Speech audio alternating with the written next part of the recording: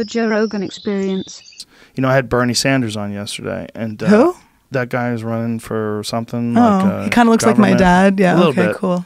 Um, and uh, I briefly looked into the comments of uh, one of the posts, and so many fucking people are so goddamn toxic. Yep. They're just battling it out left and right and misrepresenting his position and misrep. Someone was calling me an alt right white supremacist, white nationalist. Like, what in the fuck? That's so hot. They said that you I should make a had- T-shirt. So they someone said that I had someone. What is it? Stormfront or something like that. What is that white supremacist page? Stormfront or something. They said I had the founder of Stormfront on my. po- I'm like, what the fuck are you talking about? You just making. Are you a proud up." boy?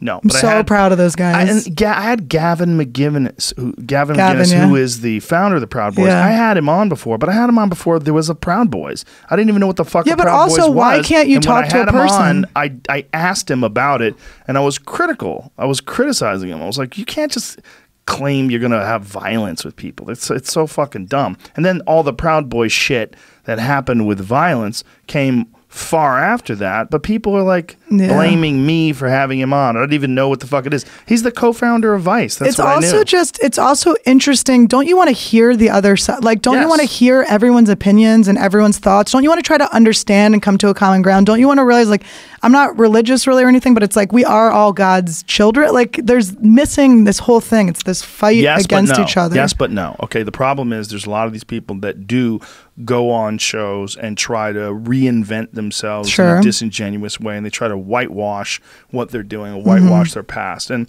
to that point, I mean, the idea is that you're helping them recruit people. okay Before he was on my podcast, though, there was no recruit. There was no people for him to recruit to. So people need to understand, like he wasn't. There was nothing.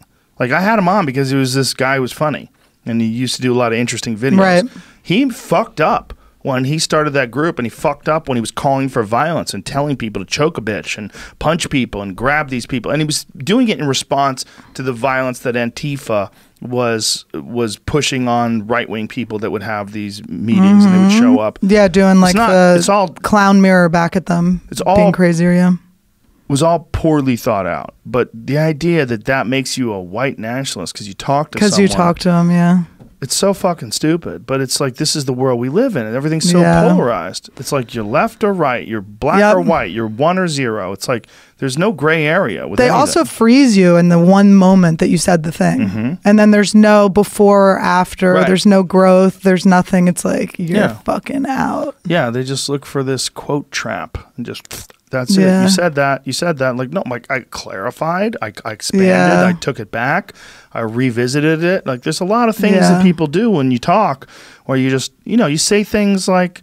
You say things like you don't even know what the fuck you're going to say when you're saying it. Like Yeah. You say, and then you go, that doesn't make sense. And then you re, re clarify. And when you're talking in a long foreign conversation and like this in a podcast, and someone wants to take a snippet out of it and then just decide that that's who you are, it's it's nuts. It doesn't make any sense. And it's this is the world we're living in today. Everybody wants to paint everyone as toxic. Yeah. Everyone they, you want to paint so many people, I should say, want to paint people as being a problem or a negative thing. And it's like this is the Twitter world where 20% of the people make 80% of the Yeah. posts. Yeah. And so many of them are fucking losers. and it's also it's such a you're giving all of your power out to outward you're not paying attention to yourself you're blaming Mm-hmm. others you're trying to change the world around you you're trying to create a safe space through other people yeah. You're Well, like, I- do you know how unhappy you're going to be in your life if you're expecting other people to come cower to all of your demands and do all of your stuff? Everyone's dealing with their own fucking shit. They're not trying to be happy. Part of it, what's what they're trying to do is somehow or another score points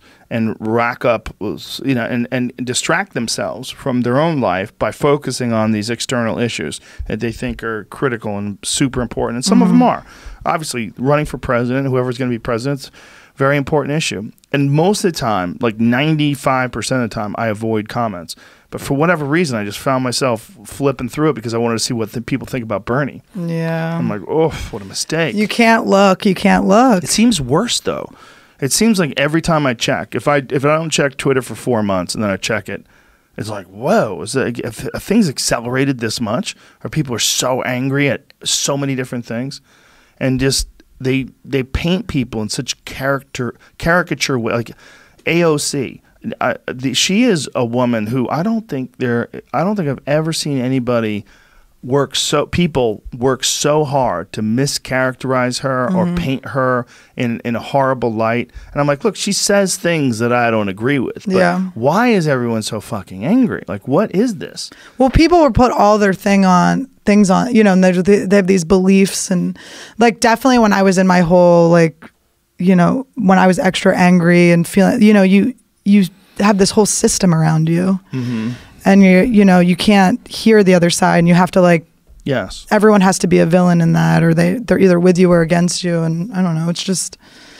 To me, it's just unhealthy. I had to tap out. I stopped paying attention to a lot of stuff, and I don't know if that makes me ignorant. I just got to live a happy life. No, I don't think it does make you ignorant. I don't think it's a f an effective way to communicate. I think it's a really piss poor way to communicate, and I think it it fosters rage more than anything. Yeah. There's something about being able to talk to people where you don't have social cues, you don't have empathy, you're not looking at them, and people say the meanest, nastiest shit to Mm-hmm. Each other, and it's insulting people and dunking on people is more important than actual communication. Well, it's attention too. So it's, you know, they're maybe trying to impress their other buddies that are on there. They're Mm-hmm. Trying to get those extra little likes, right? They're like the the main point would be they want to get your attention. Holy Mm-hmm. shit, they got Joe Rogan's attention. That's so cool.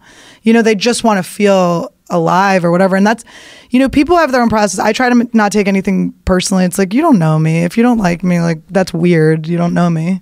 Yeah. You shouldn't really have that much of an opinion. It's like not finding your validation. You can't find the good stuff or the bad stuff in the comments. You can't. Well, if just- you look at the comments for good things, it's just as Yeah. bad as looking at for bad things. Yeah, I mean, some people think that it's a good idea to gauge like whether or not the conversation was effective, whether or not you could have done something better to navigate it more efficiently or more um, more entertaining for the make it more entertaining for the people that are listening. Looking for the constructive criticism. Yeah, I mean there can be some of that from some people. The problem is you're trying to manage all this data at scale, right? You know, Mm-hmm. you're dealing with thousands and thousands of humans that are chiming in, and a lot of them are deeply unhappy. There's Yeah. a lot of people that are commenting on things that are just really frustrated with their lives. Like imagine if someone saw or listened to you when you were like fuck man and fuck Yeah. this and they're like, "Oh, that's who she is." Right, exactly. And then you see they see you on here laughing and being silly, and Yeah. they're like, "Wait a minute, who's this bitch?" yeah. You know, like that doesn't make any sense. That's not the same person. Yeah. Well, you're not the same person. You're not the same person who you were six months ago.